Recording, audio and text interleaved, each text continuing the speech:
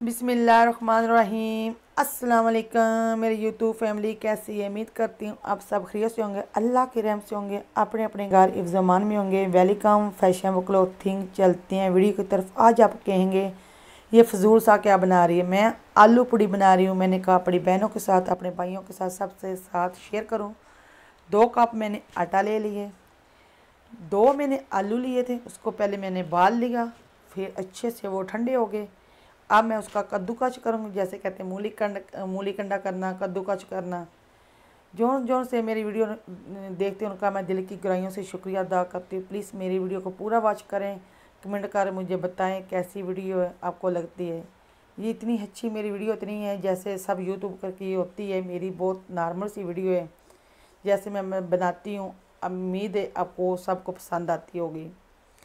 इसको अच्छे से मैंने मूली कंडा काट लिया है, कद्दूकस जिसे कहते हैं, वो मैंने अच्छे से काट लिया देखो, मैं जो से आलू तो बिल्कुल नहीं ऐसे गिराया, क्योंकि ये हमने आटे के बीच गूंद लेने हैं। आप ये भी सोच रहे होंगे, ये कैसे? एक चम्मच मैंने सुरख मिर्च ली, दादड़। एक चम्मच मैंने नमक लिया है, ठीक एक चम्मच मैंने सौंफ ली है, एक चम्मच मैंने ज़ीरा ले लिया है। ये मैंने हरा धनिया लिया है ये मैंने धो कर रखा हुआ था, मैंने कहा चलो अभी डालती हूँ।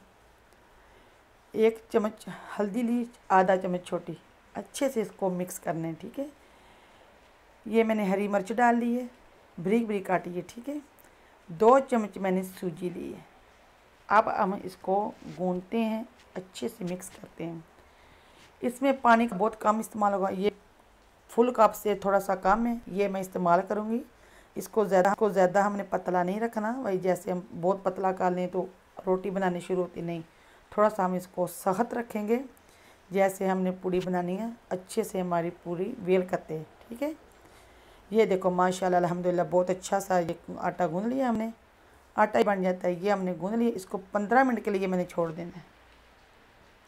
पंद्रह मिनट हो गए, अब हम इसको देखते हैं।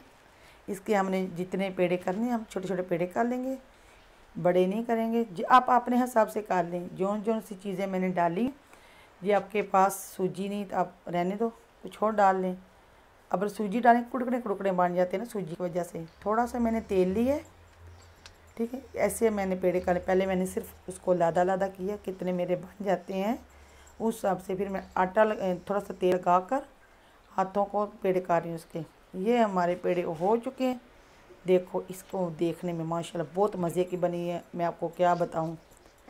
ये थोड़ा सा जो सा हमने तेल लगाया हुआ था, उसके हिसाब से हमने इसको वेलने। देखो, बिल्कुल नीचे नहीं चिमड़ रही। थोड़ा सा पोले हाथ से मतलब आप ज़ोर लगा दे सारा इसके ऊपर ही। नहीं नहीं, इसमें आलू डाले हुए हैं। ये ये नरम है थोड़ा सा थोड़ा सा होले हाथ से रखना है आपने। इसी तरह हमने इसको वेलते लगे जाने।